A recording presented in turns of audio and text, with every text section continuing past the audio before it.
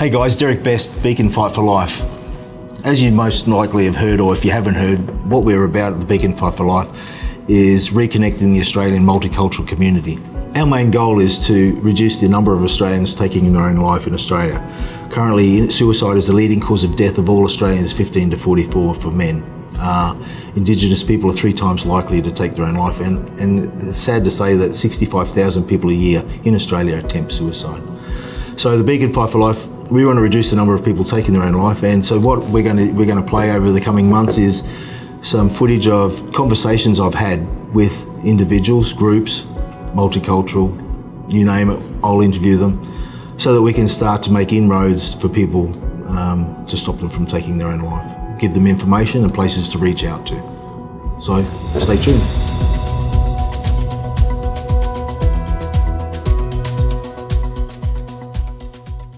Hey guys, Derek Best, Beacon Fight for Life. As you know, the mission for the Beacon Fight for Life is to reconnect the Australian and multicultural community. So today I have the pleasure of being in the company of Tandi Kuwana, um, who's an advocate for the African community when it comes to mental health. Tandi was born in Zimbabwe and uh, she's won a, a, few awards, which we'll get into a little bit later. Tandi's passionate for um, raising awareness for mental health. She's also a graduate of the African Leadership Initiative and presented a paper in 2017 to the panel for the African Studies Association of Australia and, and of the Pacific. The paper was on mental illness in people of, the Afri of African descent. Tandi's also has been a speaker at Dubai for the G200 2017 Youth Summit.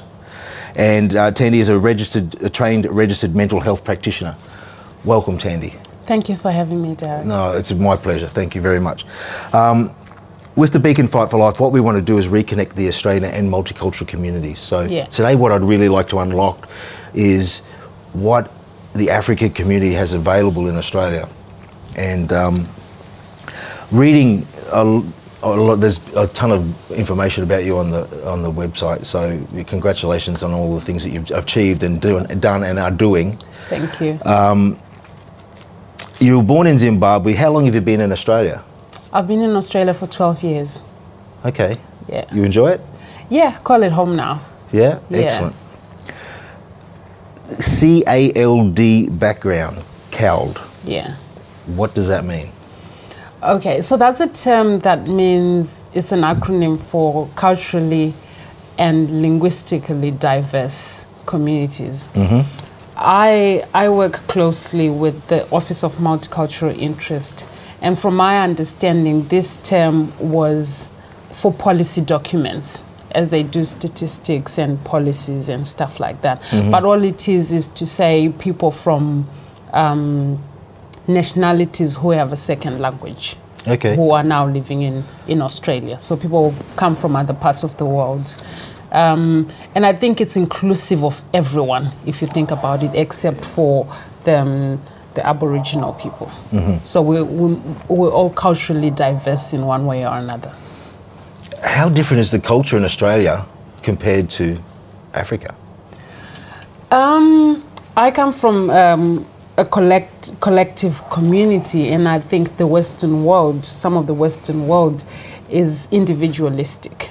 So we, I, I personally grew up in in a big family with extended um, family members. Yes. Um, so everything is done as part of a community. Decisions are made by elders. Mm-hmm. Um, so I guess that's what's different um, between between our cultures. We consult um, the people who are closest to us on on decisions about uh, our lives, and mm. sometimes we get wisdom from from the elders, and it's all through some of the storytelling that we we grew up around. Yeah, so that'll be completely different here. Oh, yeah, very different. So that would play a big part in mental health in your community. Oh yeah, definitely, definitely. When you when you think that for for for myself, I only have my brother and um, his family. Mm. Though he's the closest member, uh, family member I have in Australia, mm. the rest of my relatives are back home. Yes. And, and that, that impacts heavily on who I am as a person, um, especially being female, mm-hmm. um, where growing up decisions about my life were made by elders and the people around me and the males in my life. Mm. And then you come here, you live in Australia, and somehow you have to figure things out. Yes. So there's isolation that comes with living away from home. And there's the lack of support, um, your close networks, people who are familiar with your way of living, um, your culture, and your religion, and your your beliefs. So that make that impacts heavily on how I guess we try and assimilate. We're encouraged to assimilate, but it's not as easy as just saying, "Yeah, come to Australia and assimilate." It, Yeah. It's very hard. Yeah.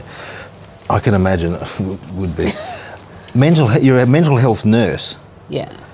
What got you into mental health? So this is a a- again coming from from Africa and my background. My mom decided from from when I was young that I was going to be a nurse. So there was no escaping it. so decisions about your life are made by somebody else. And her, her rationale was you'll never be out of a job and you can travel the world. And and now I get it. Um, but that's not who who I wanted to become. But anyway, I did end up. Um, in England and I was working as a nursing assistant. Okay. And I remember going into a mental health ward and they were talking about schizophrenia and I'd never heard that hmm. that term before. So it made me more interested. I, I was more curious to to know about this terminology. And also there was a discussion about a patient who had bipolar. And I remember then trying to figure out where this fits where I came from. Mm. And I know that we didn't have terms like that. They can't be translated into my own language. Mm. So, and I remember having family members who had experienced a psychotic episode mm-hmm. and not understanding what was going on with them.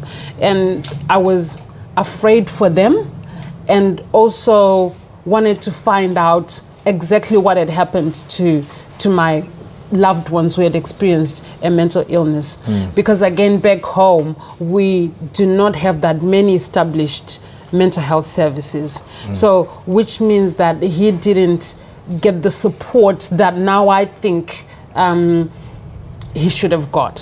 Hmm. So that made me want to then study mental health nursing instead of general nursing that my mom wanted me to study. So I've got here in the notes that Tandi's passionate about changing help, changing help-seeking behaviours of migrants who've come from countries without well-established mainstream mental health services. Yes. That's what you're talking about. Yes. Yeah. Um, I personally was diagnosed with depression in, in 2016, and it was um, it was a very challenging and difficult time for me because we're raised to be resilient. So then to be diagnosed with depression is almost against what I was told I am, which is you're resilient and you're strong. So I had to come to terms with the fact that if I'm not strong, am I weak? I didn't think I was weak. Hmm. And also, I didn't have the vocabulary to ask for the specific help that I needed. Hmm. So it made it so difficult. And fortunately for me, my psychologist was really good. And um, I was able to, to describe how I was feeling and what was going through my head. And it was so confusing because, again, I come from a culture where mental illness is, is not acknowledged. And if you do have a mental illness, people sort of like mourn you before you die like you cancelled. You're a Yeah. nobody. You Yeah. bring shame upon your family.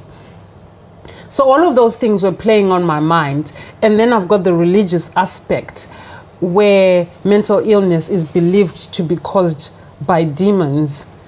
And then i'm a professional and i've got the theory behind mental illness and mm. how how you range from mental health to being um, unwell mm. so all of that was confusing for me. So internal conflict. yeah, there was a lot of internal conflict and the shame, I think, the shame that came with me just admitting to myself that I now have a mental mental illness mm. and being being a, a working in the in the field you, it's it's harder. It's mm. hard for us to to ask for help. So it doesn't discriminate. it does not discriminate and that's what i learned. So when i got better i remember thinking to myself that my story needed to be heard by a lot of people. Mm. Because if i can experience what i've experienced and be confused what about the people who do not have the knowledge and the theory of mental illness? What what do they go through if they do not have the vocabulary to talk about what they're experiencing? Mm. Because in their language it doesn't exist. Mm. So it's it and and i then look back to when i was growing up and now i know that when my mothers and, and, and my aunts especially were under a lot of stress they would voice it in physical health term. Mm-hmm. So you're raising my bp that's what they would say. That's to say that i'm under a lot of stress. Yeah. so it made me understand that even though we didn't have the language we experienced it. Mm-hmm. And i had grown to be i had grown up believing that no we don't experience it. It's not something that happens to to an everyday person. Mm-hmm. So it, it just made me realize that there are a lot of people in the Western world and even here in, in Australia where I live who've experienced what I've experienced and don't know how to go and seek for that help.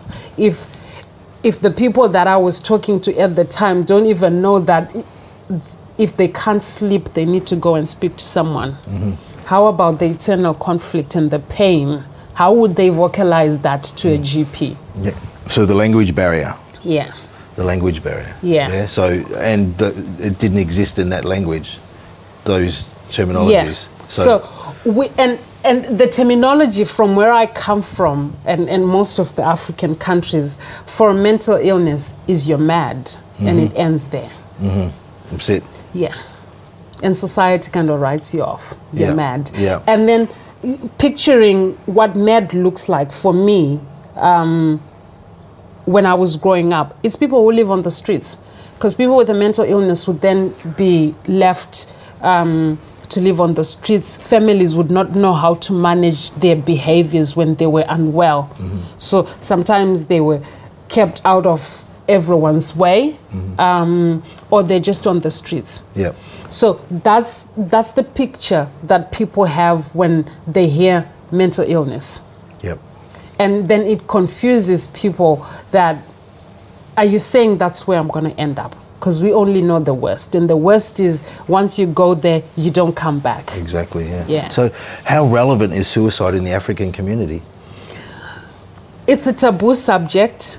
Um, and we are only starting to acknowledge that is it's a problem now because I think it was in 2017 or 2018 within my own Zimbabwean community we lost about six um, young men and women and then um, in other communities in the Ethiopian communities there had been um, some number of people who, who had completed suicide as well. And it being a topic that we don't fully understand and we don't get to talk about, um, I think it just it makes it hard for those who need help to to seek for help. Because once again it's it's stigmatized. Mm. So mental illness is stigmatized, suicide is up there Yes. That's and problem. Yeah. every time when when when it's happened when someone has committed suicide the talk within the community is what got over them mm. were they possessed by something So it goes to religious. yes yeah Wow. something must have come over them so mm. we're not yet fully understanding of how how prevalent it is um, and that it can happen to to anyone and that sometimes even those without a mental illness can end up um, committing suicide How much support is available for the African community in Australia? this is a tricky question because when I got diagnosed with, with a mental illness, my psychologist is is Caucasian, he's white Australian. And I he did wonders for me. Here I am, I, I can share my story with no mm. shame. but the one thing I'll applaud him for is he recognized earlier on how religion was an important part of my life. Mm. And he kind of used that in our sessions. And I remember this one session, I was feeling so hopeless. And he said, Did you go to church? I said, Yes, I went to church. And he said, What were they talking about? And they were talking about hope. And so then he used that in his sessions to help me to get better. Now, the problem is, um, and, and, and I think we'll, we'll get there eventually. The problem is the Australian mental health system is not fully appreciative, if that's a term that I can use, of the cultural barriers and, and the, the, the language barriers uh, that exist within the communities that make it hard for people to seek help. So if you can imagine someone who grew up in Africa or any third world country, they'd never spoken to someone about their mental health, about what's going on in their mind. They don't know that they have to. So the services are there. They're still, we're still working towards making them culturally safe and inclusive. But also, there's a gap in knowledge within the communities of what mental health is and what mental illness is. Mm-hmm. And when you're mentally healthy, what do you do?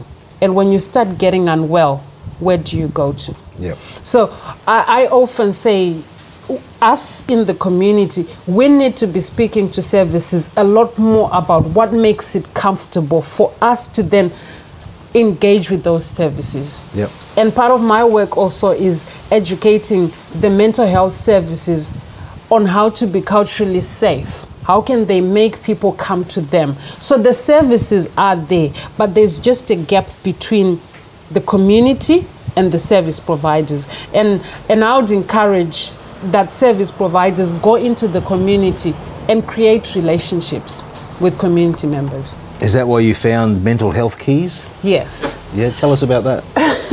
So when I decided to share my story on This Is My Brave, I, I, I was approached by one of the service providers and she said to me, can you come and run um, mental health literacy programs for the women that I work with?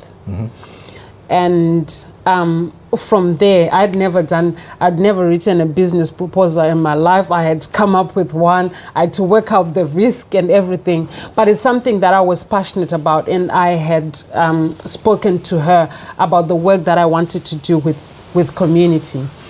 And from there it grew. So i then started working with service providers like isha palmerston providing mental health literacy for the community members that they work with. Yep.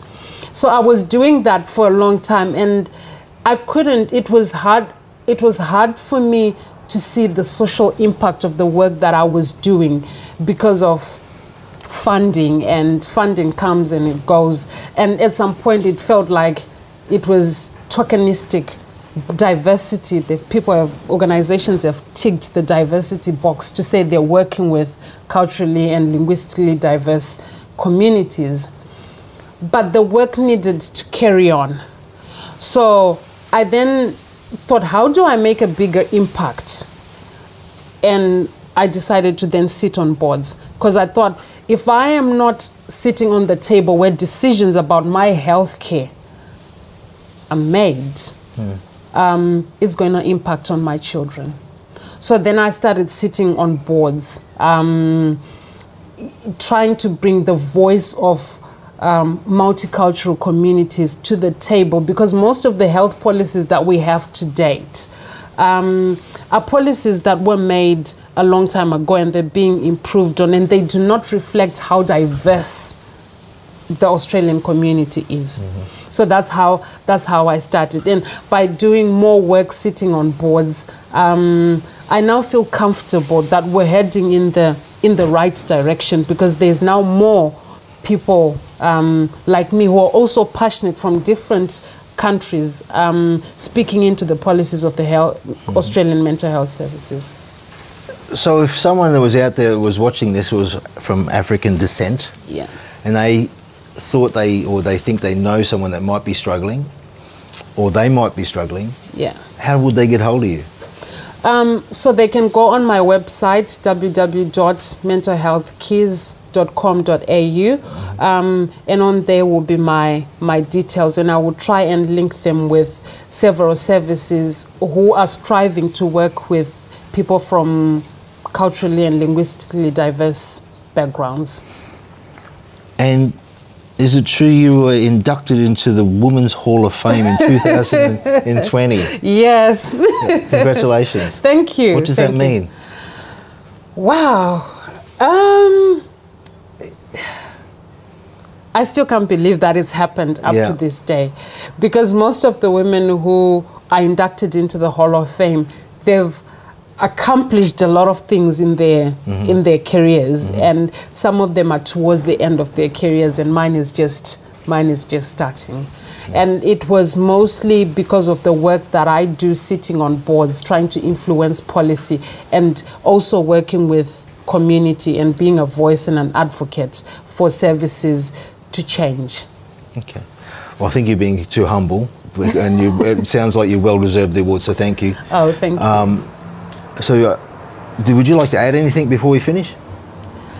Um, first of all, I would like to thank you for for having me on your program, and um, I am a great believer in in storytelling, and I think I have healed from sharing my story, and and and I thank you for being a part of. Um, sharing of my story to reach a wider a wider audience. And i hope you can continue to work with more people from culturally linguistic diverse backgrounds so we have a greater understanding of the experiences people are going through and how they've conquered the reason that I shared my story was because at the time I did not have anyone to look up to who had had a mental illness, mm. who could still go back to work and look after her kids. Mm. So it was a really scary time for me. But after sharing my story, I know people can point at me and go on my Facebook and look at the things that I've done and think, if she managed to seek help, let me just try it. So thank you. You're welcome. Thank you. All right, guys. Um, so that's a, a wrap for us. Thank you for, for listening. It's Derek Best here from Beacon Fight for Life, and make sure you take the time to smile today. Thank you.